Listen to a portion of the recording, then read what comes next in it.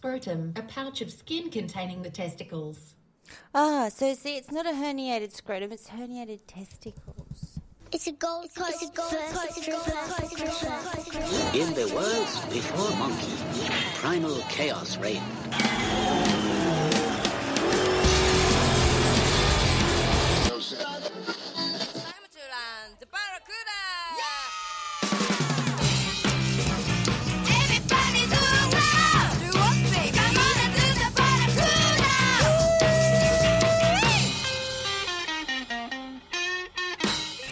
This podcast goes out to Aaron Brunner's testicles.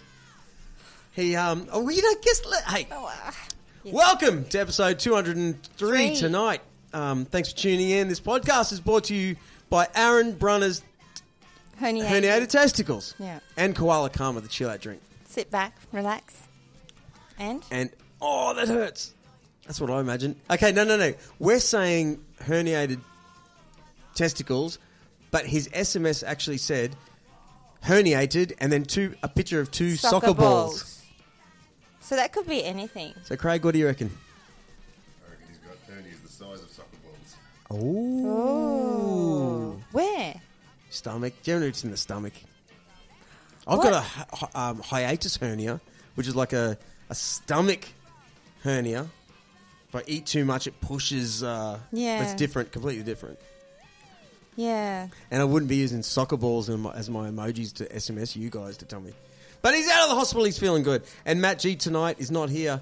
Um, I he's doing them. something sort of English. I could only imagine. Yeah. What do you think? boring. What do you think he'd be doing? I saw him the other day, and he went to the Scottish black Press. and, Is it yeah. black and white pudding? Black, pu- black pudding. Black pudding. That's probably what he's eating. Yeah, down the Mm. old. Uh, yeah, where are you from, Craig? Shepparton. Yeah, originally. Originally from Shepparton. Where's that? Country Victoria. Country. He lives in Horsham Ah. too. Did you ever actually go to the uh, Speedway? Grab that mic. The Blue Ribbon. Yeah. Yeah, many times. Excellent. Did you? I probably saw drew there. Yeah, maybe. Maybe came seventh. And you detail cars. I do. And w- was it like I think I saw something? Hey, on you've your, listened to this podcast. Put the mic close to your mouth. I think I saw something on your um, Yes. Facebook about what is it? He doesn't just detail cars. He puts ceramic coating. Ceramic it's this coating. new What's thing. this? What's this? It's What's this? nuts. It is pretty It nuts. looks good. What is It's it? It's like your car doesn't get dirty anymore, kind of thing. It's weird. Can you put it on your? Is this still the hubcaps intro? Too? Can you put it on your hubcaps so that the hubcaps don't get the brake dust? No. I've put them on rims, not hubcaps. Okay. Oh, What about on women? Ceramic coating. I don't understand. That's a bit weird. What about half Japanese women? That's weird. Worth a try. Worth a try.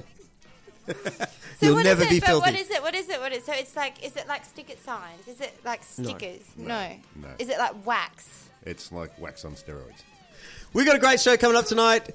Um, we bring back uh, Brandon Wakeling, uh, Olympic weightlifter, and Murray Goodwin, Goodwin. Uh, uh, track and field, uh, 400 meter specialist runner, won the Stawell Gibbs. I can't believe it. Legends, and they're legends. back uh, uh, to give us the great gossip on uh, the Com Games. It was really cool. I think we asked pretty much every every dopey question we could. I wanted to ask I loved it. more.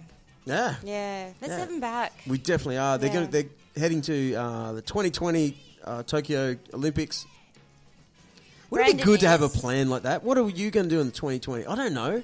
That's two years away. I'm just bumbling my way through life at this point. You know, my wife. Can I tell? Well, okay, my Yeah. ultimate dream would be to have um, 2020. By 2020, we're going to have Robert De Niro on this podcast. Oh, he'd be 87. That'd be Do you pretty think cool. I'm eh? reaching for the stars? Might be too old, hey. That's a good idea. Yeah, let's have a plan for this podcast. Oh, Yeah. What? Nothing. so sit back, relax, and listen to this one. Are you there, boys? Yeah!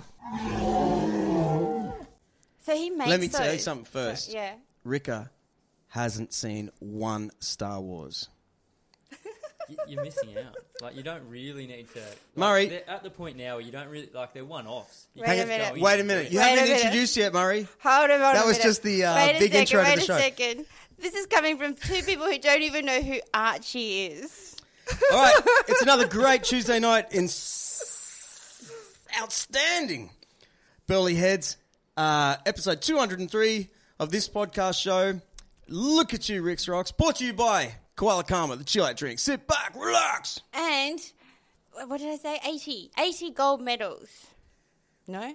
I don't like that. I don't know. No, I don't like that. Yeah? I'll think of something else to say. We'll How are you? about- yeah, you looking good thing. today? Thank you. Yeah. Stretching that shirt out a little. I know, I'm putting on weight. No. you're only uh, you're only feeling weird because guess who's in the room? Murray Goodwin, say hello. How you going? Brandon Wakeling. Hello. We've got two comms games athletes here Champions. that are back in the studio. It was probably at four, six, five, six weeks Um, that you were yeah, here. Maybe a couple months. They just sort of dissolve after the game, so yeah. Yeah. Who knows? We could be in you know September. We wouldn't know. No idea. Now I'm gonna just to, to set the um the, the thing first. We know that uh, you know. I'll start with you, Brandon. Actually, you're Yeah. on the podcast first. Yep. Olympic weightlifter. Okay, Mm-hmm. that is your your thing. Yeah. And did the Commonwealth Games after only training for what sort of two years. Only one year in actual, wasn't Two it? and a half from, yeah, around Com Games time. Roughly, yeah. Madness. Oh, two and a half. I thought it was only 12 months. That you, oh, End of 2015, I started. So, there you go. So- Sorry, I didn't really listen to You guys could you know like you Sorry. could start for Tokyo now and possibly get a. You could like try and outdo him. You know, like Yeah. Tokyo's Oh. what It's possible. It's about. It's about a year and a half, probably Well, two years. I know what a snatch two is. and a half. Yeah, well, you're halfway there. Oh my god. Oh wow! Just, I bet there was, uh, I don't know how many people. And Murray Goodwin, okay, um, incredible uh, sprinter. What do you, is that? You, what, Yeah, we're the last of the sprinters. Yeah, 400 runners. We're the last of the sprinters. So Right. From there, we call them the skinnies. The, The uh, skinnies. the middle distance and the distance runners. So Yeah. the sprinters and the skinnies. yeah. So we'll get to the. Um, uh, we we always wanted you to come back to give us the goss on what happened on this this incredible com games that I wasn't here for. To be honest, I, I went to I Japan, know. just like half of the city by the sounds. Yeah, Yeah. yeah. Yeah, I heard it was Yeah. dead. Like, there was no traffic. Yeah. Yeah. It's, it's a bit like yeah, like it, apart from the actual events, it was a bit a bit, bit sort of like apocalyptic. The uh, the streets of the. Gold Coast. It was. There was You more can- traffic no. and more congestion leading up to it. Like Yeah. when they were making, like you know, making Yeah. all the changes to the roads and everything. Once the Bit game weird. started, But for your for your actual races and, and your events, were there was it full? Yeah, absolutely. Right. Yeah. So you had yeah. the full uh, the crowd, the Insane, noise. yeah. yeah, Yeah. yeah. Could you feel what we were talking about? Mm. Um, you know, especially you, Brandon, when it was your first. Um, you know, Murray, you won the Stawell Gift, and and you know, but but for you, Brandon, you. I when it when it said soon, man, you're gonna we're gonna have all of us sitting on your shoulders, and here here you were with a packed crowd, like you're about to lift. Was it a record weight you had to bust? No, To- no, no. Bust. Look, at- listen to me say bust. Is that even a Um, word bust a move. in Yeah. the industry? Yeah, what did it hold? Like two and a half thousand people or something like that? In a, I was one of them. I was there. Were you? Yeah, I was watching him. It is. And bang, we're back. Do you see? So, But oh, this problem with Mike, eh, the mic isn't nearly as stressful as uh, what you what champions. you just- guys just yeah. So we just missed a little bit of what Brandon was explaining. yeah, where were we? I can't even remember. Where we Oh, because so you were saying that um, it, it's kind of like a little bit of a letdown that on that day that you had to compete Yeah. was the day you were having an off day, Yeah, absolutely. and so like everything you kind of trained for and everything you sacrificed wasn't reflected in the performance. Of yeah, that when you day. don't get to showcase all your hard work over that stint and you didn't do anywhere close to what you know you can do, it's obviously a very bitter pill to swallow, especially when you obviously believe that you can get to this level. And I, I- like, I believed I could get on the podium and get a medal.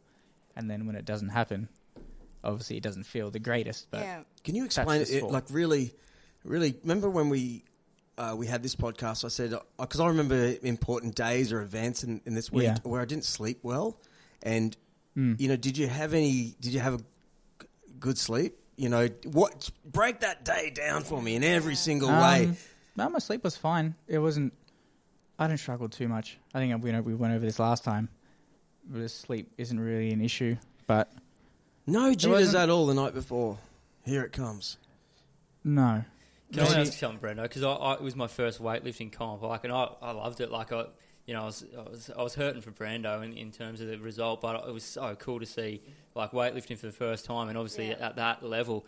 Man, the, the I didn't realize how much like mind games go on between like the you know athletes calling the whole timing thing like oh you only got like and then they'll be like no I'm not lifting that weight you got to come back out and all that sort Yeah. of stuff like was that like level of that was that similar to what happens in other comps or was that on another scale again to what like you've done before Uh, it's all the coaches that do that. We have like a table like this out the back filled with, like every athlete has their own sheet, yep and it says what your next attempt is, and the coach can walk up, cross that out, put a new weight, yep Yeah. and then it'll get relayed. To Yeah, the so people these guys are won the like board. about like they're pretty much like we'll go down to the five, four, nah, not lifting, and then the other guys got to sort of rate. Like at times, like I saw guys miss lifts. They're like they're just like, oh, I didn't even realize that to come out. And they're sort of just rushing out and trying to run up to the bar and, and try and like suddenly set themselves and lift. Like they were, the mind games were huge. Like Yeah. that part of it was really cool, and also the uh, and the pump up from the like I love the different styles Mm. of the pump up from the from the other athletes. Like weightlifting, obviously you're lifting heavy, like Yeah. you're lifting some heavy tin out there, and these guys are like the coaches on the side, and then the athletes themselves. They're all just their individual pump up. Like I Okay. think I was really taken by that. and you can hear that from. Uh, were you out the back? No, no, I was on. or- I was on. The, I was in the crowd. So yeah. the whole crowd gets to experience. It's that. like when that when Breno was talking about that moment of like the silence when the when the Yeah. lifter is lifting. The only person that you will hear, like if, for certain lifters, and they must ha like talk about it with their coaches, is like some of the coaches are just like like they're really pumping it even when it's Yeah. going quiet. Yeah, coaches allowed. Some athletes obviously like to pump themselves up and maybe yell or something. Some, like me, I'm kind of the opposite. I just try to keep calm and not make. Yeah. Who was your coach then? Uh, I actually had three coaches backstage. Were they messing with people's stuff? Were they setting up some hometown? Come Um, on, tearing bits of paper up, pushing over flour here and there.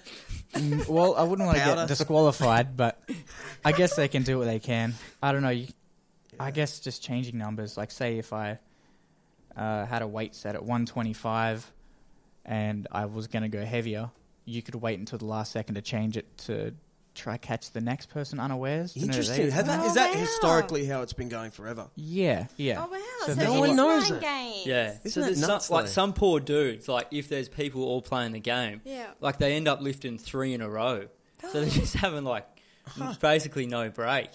There So are that must be really hard. strategy. in as in well. snatch it isn't too bad, but clean and jerk because it takes a lot longer to recover. It's a bit of a slippery slope if you Mm. start missing. If you miss your first two, it's it's a struggle to get that third one. That's yeah, for sure. yeah, Oh wow! yeah. So, so honestly, you, you're lifting three times. Oh man, Yeah. oh, excuse me. And then, okay, so so what about? Oh, I'm sorry, Murray. Thank you, and thank you for chiming in with these great questions too. Yeah, No, no, because we the way- weren't there. Yeah. This is- it's- this is- yeah. I'm really interested in. Okay, yeah. How did you feel at the moment? Did you feel like this isn't my day? You know, you know that. No, Is there any um, lethargic? uh, No, I've had those Uh, days, man. We're just like, ugh. and then the other days, he's like, everything is just a memory of kicking ass. Like, Yeah, uh, I think just technically, I was just a bit off. Um, where did you finish, by the way? Uh, Seventh. Have we said that? Seventh. Yeah, yeah. All right, go. Um, yeah, it's obviously very easy to miss a lift. It can be out by the slightest for you to miss. And say you're not stretching up high enough, you're not getting your back set enough off the ground, like little things like that, that can cause you to miss. So if something's out on the day, obviously with added like nerves and atmosphere, you got the adrenaline pumping, it can you can obviously miss.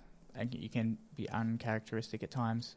Well, I know one of one of his, Bruno's lifts, the crowd went nuts because it was like one of you like, and then and then the so everyone was cheering because he like got you know he got it up and you, you, most people like we're pretty amateur in what we know about the sport, so you know he's got the weight above his head and everyone's like going nuts, and then they. And then they went like even once he dumped the bar, then they like had little judges meeting, and it was like, nah, he didn't. What was it? Like, That was my second lift. Yeah. Yeah. I got my first one at 120. I got 124 for my second attempt, got three white lights from the judge.